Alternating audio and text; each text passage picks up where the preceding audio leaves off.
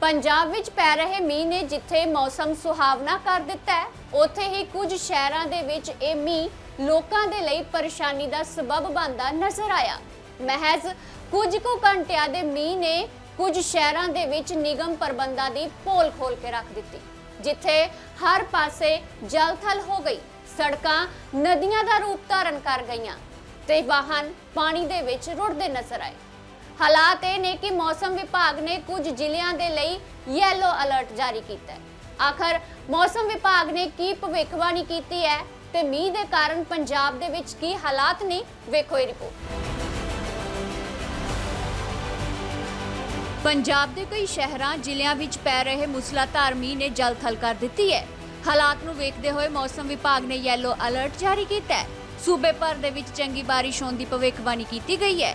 ਬੀਤੇ ਦਿਨ ਤੋਂ ਪੰਜਾਬ ਦੇ ਕਈ ਜ਼ਿਲ੍ਹਿਆਂ ਦੇ ਵਿੱਚ ਖਾਸਾ ਮੀਂਹ ਪੈ ਰਿਹਾ ਹੈ, ਜਿਸ ਤੋਂ ਬਾਅਦ ਸੂਬੇ ਦੇ ਔਸਤ ਤਾਪਮਾਨ ਦੇ ਵਿੱਚ 1.3 ਡਿਗਰੀ ਦੀ ਗਿਰਾਵਟ ਦੇਖਣ ਨੂੰ ਮਿਲੀ ਹੈ। ਉੱਥੇ ਹੀ ਮੌਸਮ ਵਿਭਾਗ ਮੁਤਾਬਕ ਪੰਜਾਬ ਵਿੱਚ ਯੈਲੋ ਅਲਰਟ ਹੈ, ਪਰ ਇਹ ਅਲਰਟ ਸਿਰਫ ਦੋ ਜ਼ਿਲ੍ਹਿਆਂ, ਪਠਾਨਕੋਟ ਅਤੇ ਹੁਸ਼ਿਆਰਪੁਰ ਤੱਕ ਹੀ ਸੀਮਤ ਹੈ।